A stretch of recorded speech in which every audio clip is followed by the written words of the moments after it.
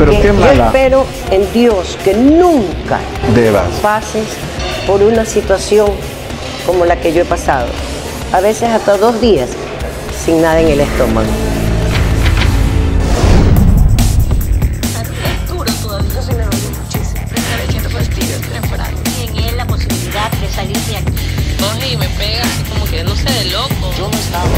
Estamos con una de las pocas primeras actrices de este país, señores, Amparo Manzano. Si usted le dice así, nadie... Paro cuello. Amparo, Ar- Amparo, Paro cuello Manzanares. Amparo Cuello Manzano. Manzanares. Manzanares. Amparo Cuello Manzanares, nadie va a decir.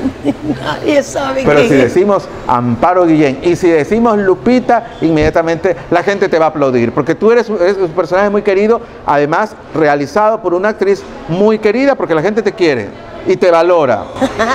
Yo pienso que no somos monedita de oro, pero considero que mucha gente me tiene bastante estimación, así como otros no, pues esas son las culebritas que no tienen. ¿no? Claro, ahora en el, en el 2016 Amparito está tan de moda como estuvo a mediados de los 80. Yo creo, y vamos a dividir justamente la pantalla en este momento, yo creo que el asunto renace, se revitaliza cuando el presidente de la República visita un programa matinal y ustedes eran los invitados, ¿no? O ustedes, le, le- digamos, le, le hicieron un sketch al presidente y obviamente como estaba el presidente, como estaba el presidente, ese programa tuvo mucha sintonía eh, en ese momento por el tema eh, político, estábamos creo que cerca de, de El alguna... 25 de julio fue. Estamos, claro, eran las fiestas de Guayaquil.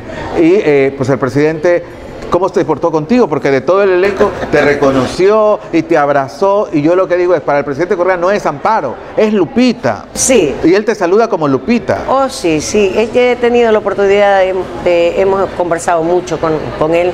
¿Eres empleada pública? Eh, ¿Trabajas? no, absolutamente. Pero te he visto en redes sociales apoyando fervientemente. Sí, eh, hay un parentesco también. Ok. Con el presidente. Sí, parentesco eh, por... eh, Pero tú lo hermano. quieres. Sí, a Rafael Correa, sí. Y, has sido invitada a Palacio. He estado con él en el Palacio de Carondelet. Y le hablas en algún momento como mamá Lupita, le dices, ¿cómo le dices? ¿Presidente o Rafael? Rafael. Ah, Rafael, mira. Es decir, te, te, te saltas la No, norma cuando- diplomática. No, cuando está toda la gente, presidente, Presidente. presidente, pero cuando ¿Están los dos? estamos así muy cercanos, él me dice Amparito y yo le Ah, digo. Rafael. ¿Y, y de qué hablan cuando están tú y el presidente? Normalmente hablamos de la falta de trabajo.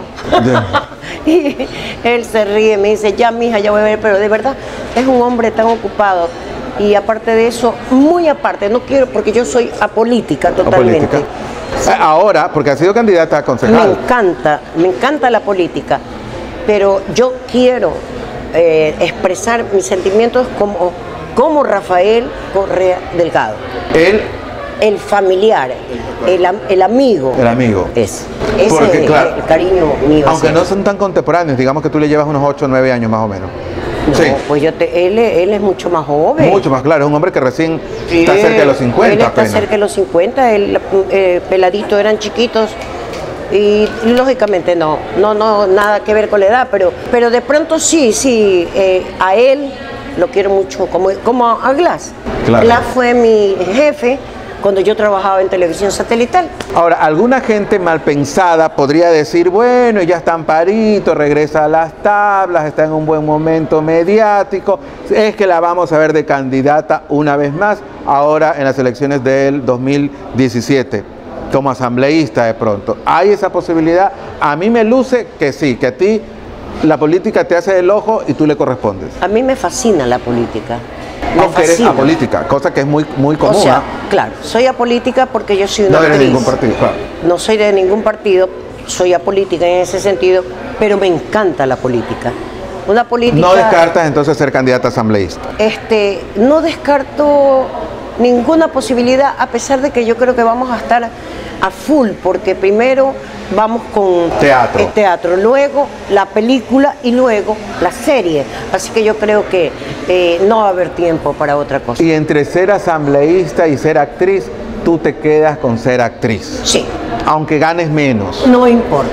Aunque, eh, pero bueno, eh, decíamos en el bloque anterior que te besaste con una mujer. ¿Qué Sí. Y da ahorita que puedes tú calificar, catar, decidir ¿cuáles han sido los mejores besos? ¿Los de mujer o los de hombre? Lo que has recibido en tu vida, que has recibido de muchos besos. Lo sigues prefiriendo. Vamos a este, aclarar que ella recibió un ósculo, un beso apasionado de la actriz Elena Gui, justamente para una serie de televisión. Sí, era Archivos del Destino. Y Tenían yo me que acuerdo que, besarse. Tati Interlich me La llamó y me dice, este, Amparito, tenemos este papel para que lo hagas con Maricela Gómez. Pero eh, le dije, yo lo primero que hice fue llamar a mi hijo, que estaba, esquí, estaba estudiando aquí. Y le dije, Robertito, ¿quieren que haga esto, esto y el otro? Y, y mi hijo terrible, me dice, ¿cuánto te van a pagar, mami? Ah. Le digo, tanto, hazlo. ¿Por qué le pregunté? Porque él estaba en un colegio y pues de pronto le iban a molestar. Claro. Entonces le digo, ¿y si te dicen algo los chicos? Me dijo, mami, tú eres una actriz. Claro. Y punto. Entonces le dije a Tati, está bien, en eso se ocupó Marisela, no se pudo, y me tocó con Elenita Gui. Que es una actriz profesional de Además verdad. que la estimo muchísimo, una muchacha eh, Y es buena mejor gente. besarse con alguien que estimas. Digo, si ya te toca. Es duro, es duro. Lo que sí pusimos como condición, yo me acuerdo que le dijimos, ¿Qué? Elena y yo, a Tatita, pongan por lo menos cuatro cámaras, porque lo vamos a hacer una sola vez. Y si esa sola vez no queda, qué pena. Ahora, claro, los besos en televisión suelen ser trucados, pero no tanto. Esa es una eh, verdad media. Porque hay el contacto, eh, labios, eso no es El inevitable. beso, el beso.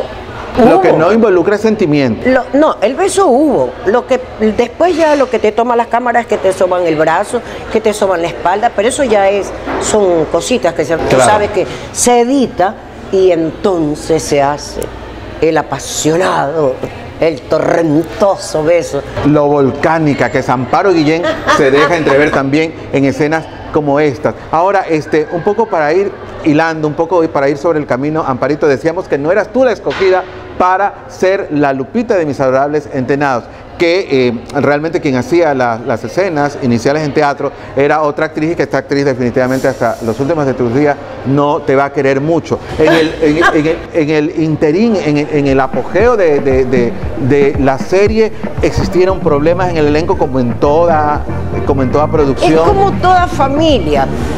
Que si llegas tarde uno, que no llega el de acá, que qué pasó con el vestuario, que por qué dejas botado esto, pero realmente, y ahora lo, de pronto cuando pasó eh, los primeros entenados, Año yo- 86, yo 87, no- 88. Uno no medía, porque éramos todos prácticamente jóvenes. Claro. Entonces, ah, ah, ah, malcriados de pronto. Pero ahora que nos hemos encontrado, Ángelo, qué cosa tan hermosa. Con tantas batallas ganadas y tantas batallas perdidas. Y qué hermoso, vieras cómo nos reímos de las mismas idioteces, Claro. los chistes agrios de Osvaldo o de Héctor, pero todos, no sé, es como que he vuelto a vivir, o sea, sentir a mis compañeros, verlos como, sí, pintamos canas, pintamos arrugas ya, Ya, pero el- el- ya la caminada no es tan ágil. No, pero la esencia está aquí, pero te cuento que en los ensayos Claro. parecemos pero una bala. Pero bueno, lo que pasa es que tienen ahí a deportistas. O sea, Richard Barker definitivamente es un hombre que hace deporte. Ah, si no, no, no se lo vería tan bien. Osvaldo Segura me consta que trota de madrugada. Lo Todos mi los casa. días por el, el- el- la Kennedy, por ahí Claro, pasa a mí me ha tocado ver a Osvaldo Segura, yo llegando de una farra y él trotando, y me ha dado envidia. Yo he dicho, no está bien, yo debería ser así. Y lo he encontrado, él trota, Hasta el día de hoy. por eso se mantiene bien. Sí. Y es un buen tipo, fue mi compañero en un programa. Hermoso. Mira, Osvaldo es un hombre tan humilde. Cuando le dijiste que venías acá, no se ha opuesto, que ya para mí es bastante. No, para nada. Es más, mandó saludos y, que, y, y agradecido porque, y como yo, Ángelo, agradecida porque yo sé que este programa trae personajes. Así Y es. eso, y eso para mí es un honor, un honor y, y agradezco. No conocía a la productora marketing W. WG. Del peruano, Ay, él es peruano, qué lindo. Mi madre era peruana. Ah, Mi tu madre era peruana. Claro, mi mamá era de la- Talara, un pedacito de mujer de este porte hermosa. tienes dos nacionalidades. Decirte gracias. Yo te decía ayer cuando texteábamos que para mí es un honor, Angelo. Para mí Es un placer. Aunque al principio un poco me dolió porque he llamado a tu teléfono y me ha contestado un asistente. Yo dije, no, ya está de insoportable Lupita, tiene Pero asistente. tú me conoces, papi. Lo que pasa es que justo estábamos en la rueda de prensa. Ah, ok. En, en el Sonesta. Entonces no había cómo. Entonces me, me contestaba, Marta me contestaba el teléfono porque yo no podía. Pero tú crees que yo voy a negarme. Primero, por Pero ese cariño, esa amistad que nos tenemos. Y segundo, porque estar en expedientes con Ángelo Barahona no es tan fácil. Porque sé lo que eres y lo difícil que eres. Ella es la señora Amparo Guillén. Ahora, tú estuviste y te involucraste también en la política, dices que ahora no serías candidata, pero fuiste hace 20 años un poco más candidata a concejal y no te fue bien. ¿Qué es lo que sucedió? A ver, eh, dos veces ha pasado. Se me han robado los votos, ya esa es la verdad. no me preguntes más. O sea, algo sucedió, pero, está, pero estabas en primer lugar de la... En primer lugar, Ahora, bueno, también sucede que no siempre las figuras queridas de la televisión logran un ca- caudal de votos extraordinario y tú no eres el único caso. Hay múltiples casos de figuras que en televisión han sido muy queridas que no han logrado llegar a la política. aparte que eh, también hay parte de que eh, eh, se utiliza la persona.